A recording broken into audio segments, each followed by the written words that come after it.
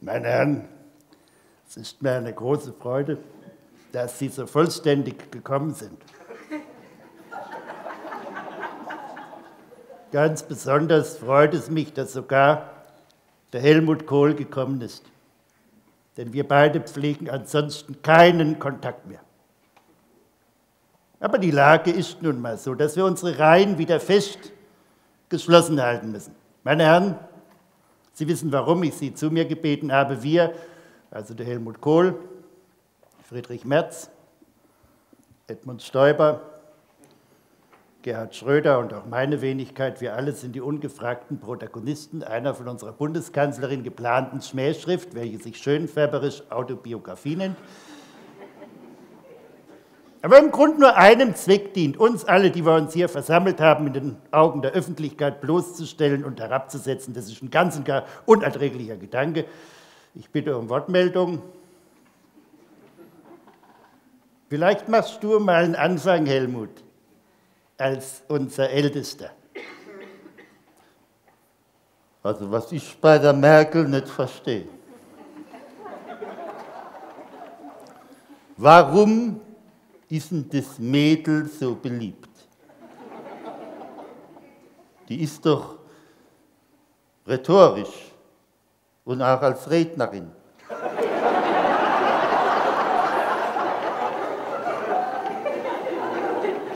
Da ist die doch erbärmlich. Oder wie siehst du das, Edmund? Äh, äh, äh, äh,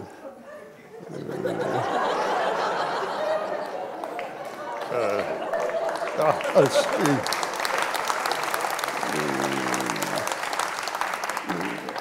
als hätte sie Deutsch als erste Fremdsprache gehabt. Der war gut, Ede, der war gut. Aber jetzt mal wieder im Ernst. Die Alte hat doch nichts auf der Pfanne. Das ist eine machtgeile Blenderin, bei der die Haare wichtiger sind als die ganze Politik.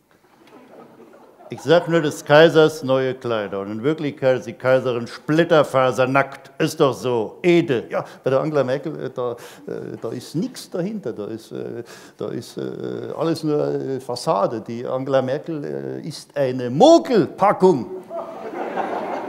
Und eine Blendgranate noch dazu. Basta. Das ist aber jetzt wirklich sehr fein beobachtet, meine Herren. Aber wir sollten jetzt auch einmal den Friedrich Merz zu Wort kommen lassen. Herr Merz, was haben Sie zum Fall Merkel zu sagen? Also für mich ist die Angela Merkel mit Verlaub, ich sage das jetzt ganz ohne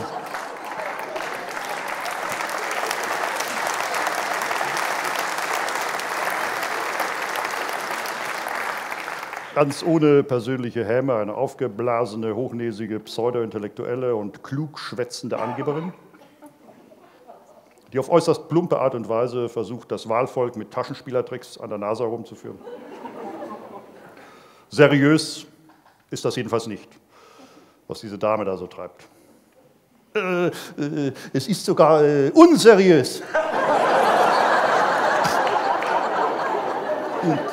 Äh, außerdem hat die Angela Merkel überhaupt keinen, also, also, also wenn sie mal hart auf hart kommt, da, zieht sie, da, da, da hat sie äh, überhaupt kein Standing.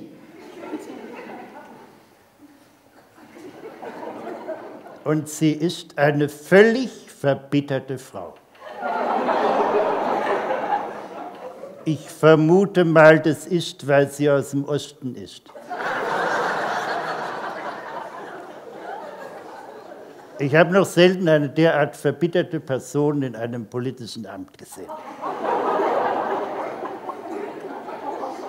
Und verklemmt ist so eine äh, verklemmte äh, Person. Äh, äh, ist mir überhaupt noch nie in meinem ganzen Leben äh, untergekommen. Es ist mir auch ein Rätsel, warum die Angela Merkel immer so misstrauisch ist. Ja, wer immer so misstrauisch ist, der geht doch dabei von sich selber aus.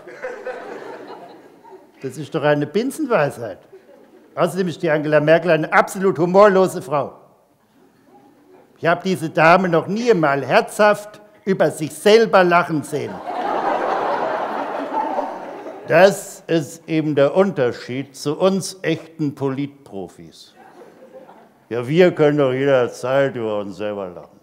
Ich lache zum Beispiel sehr gerne über den Friedrich Merz.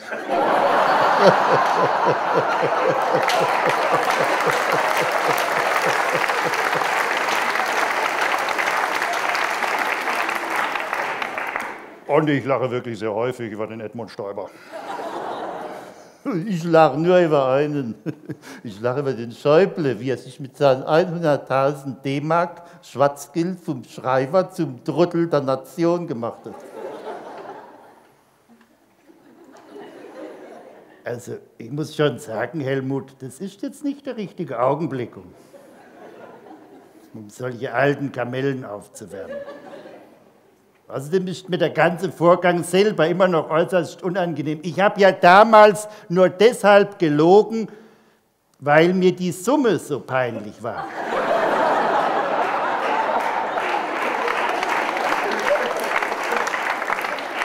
Wenn es bei mir wie bei dir, Helmut, um richtige Millionen gegangen wäre, da wäre ich ja stolz gewesen und hätte auch nicht gelogen. Ganz im Gegensatz zu dir, der du ja sogar heute noch lügst. Ich lüge doch nicht. Ich sage bloß nicht die Wahrheit. Schäuble, ich erkläre dir das jetzt ein allerletztes Mal. Wenn man Millionen kassiert, dann muss man mit der Wahrheit auf Kriegsfuß sein. Bis man eines Tages dann doch noch den Friedensnobelpreis bekommt. Aber wegen so ein paar jämmerlichen Peanuts, da lügt man eben nicht. Für so eine Lüge, da habe ich nicht das geringste Verständnis. Du spielst schließlich nicht in der Amateurliga. Also schreibt er, sobald wir die Merkel entsorgt haben, da rede ich mit dir wieder kein Sterbenschwätzchen mehr. Da gucke ich durch dich wieder hindurch, wie durch den Geißler oder den Biedenkopf. Da bist du für mich wieder Luft. Oder noch weniger. Basta. Das war aber jetzt meine Vokabel. naja, Jedenfalls werden wir die Merkel, die olle Fregatte, mittelfristig versenken.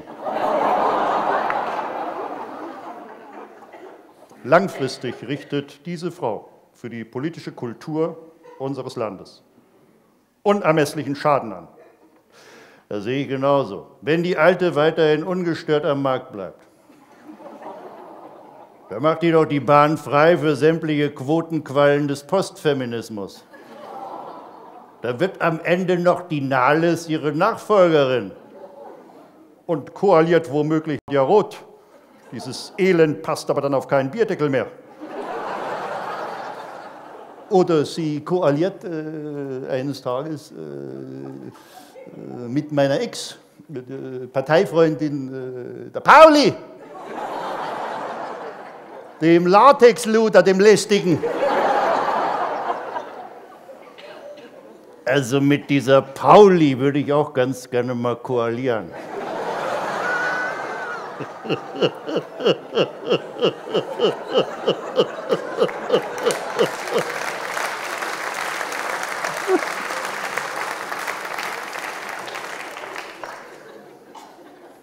Herr Schröder, das ist hier keine Comedy-Sendung. Das das ist hier ein Krisenstab. Jetzt sind wir wieder im Ernst. Da ist schon wieder mein Text. Was ist denn hier los? naja, gut. Hauptsache, dass Merkel macht sich vom Acker. Eine gute Nachfolgerin wäre ja auch meine Doris. Das ist eine echte Super-Doris. Klug, kompetent und sexy. Äh, genau äh, wie meine Muschi. ja, dann könnt ihr meine Super Doris mit der Stäubermuschi. Also nur mal so ins Unreine spekuliert. Apropos unrein, meine Herren, ich muss Sie dringend zur Tagesordnung zurückrufen. Es ist fünf vor zwölf und die Uhr, sie tickt immer schneller. Die Lage ist bedrohlich. Ich vermute sogar, dass die Angela Merkel inzwischen schizophren geworden ist. Erst kürzlich, da ist sie im Parlament eingenickt und hat dann im Schlaf vor sich hingemurmelt. Und was da zu hören war, das hat alle Umstehenden sehr nachdenklich gestimmt. Da kamen Worte vor wie Wurzelhaar.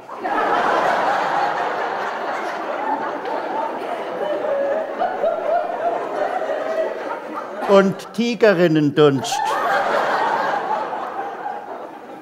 Und irgendwas von einem Hauch, von einem Nichts, das ihr von den Schultern flattert. Meine Herren, das sind nicht mehr die Träume einer stabilen, im westlichen Wertekonsens verankerten Persönlichkeit. Nein, meine Herren, unser größtes Sicherheitsrisiko, das ist ab sofort nicht mehr der Islamismus. Unser größtes Sicherheitsrisiko, das ist die Angela Merkel.